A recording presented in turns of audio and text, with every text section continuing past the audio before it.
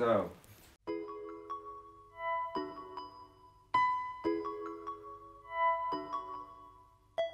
So there's this billboard, "Life is great," and the uh, and the cigarette packet there, and uh, I just thought that's uh, a positive way of showing things. And of course, what's on the film, I think, is probably the enjoyable things, things we were doing. When did we go? 1971. So I was probably nine. Uh, nine and a half. Nine. um, I think we drove down to Southampton and then got on this big boat and um, took two weeks to sail down to Cape Town with the whole family and the dog.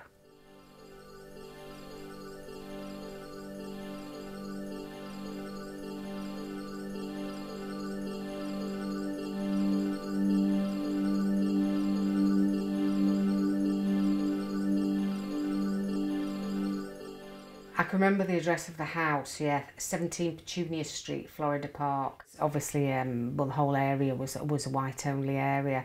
And yeah, it was quite a nice house. We played in the pool loads. We used to have races on our inflatables. Yeah, it was it was good.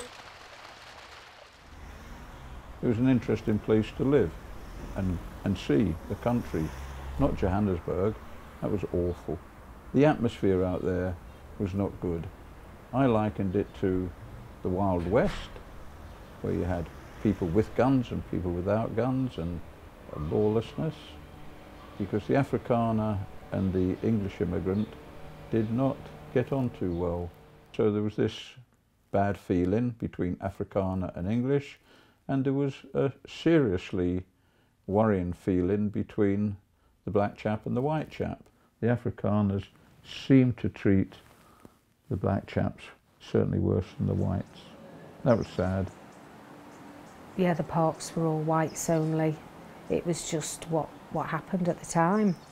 Um, and we didn't really, we thought it was strange and we questioned it, but we didn't, you're just sort of more accepting at that age. You know, you've got other things in your life, haven't you, playing out and going swimming. They didn't see the political situation. I don't think they realised the dangers if a white girl went out at night unaccompanied, she was in danger of being attacked and raped. She, she couldn't do it. She had to be accompanied, she had to be in a car. We didn't dwell on apartheid. We knew it was about, we knew that there was segregation.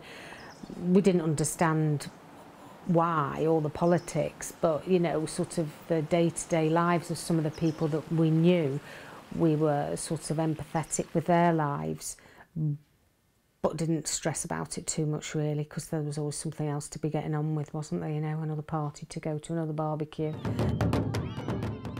We used to go to um to the mines on the outskirts of Johannesburg. There were quite a lot of mines there. The men worked at the mines, their families all lived back in the tribal areas. Then on Sunday, they had to do this mine dance for most of the morning, and that was their like the only day off in the week. I think had, I'm sure you had to pay to go in as well, so obviously it was a little a little earner for the mine owners. I mean, they were quite good because they were all dressed up tribally and they were doing them, but it was very, you know, thinking back now, it was very orchestrated and bit, bit unkind, really. I think what the children enjoyed was our trips away.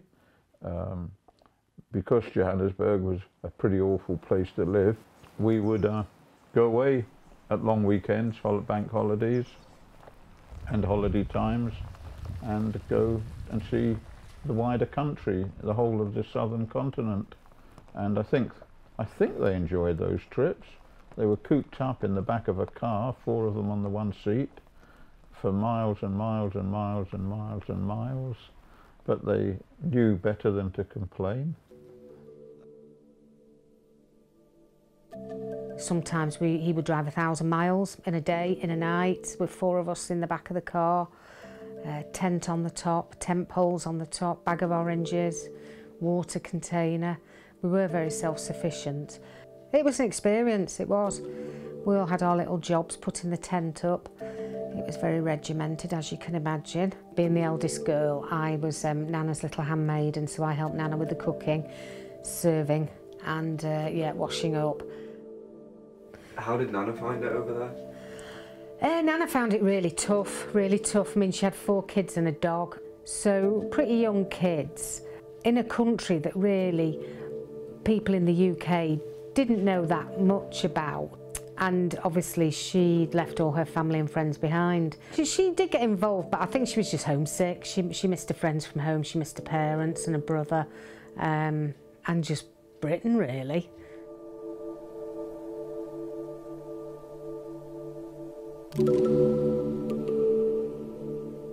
There was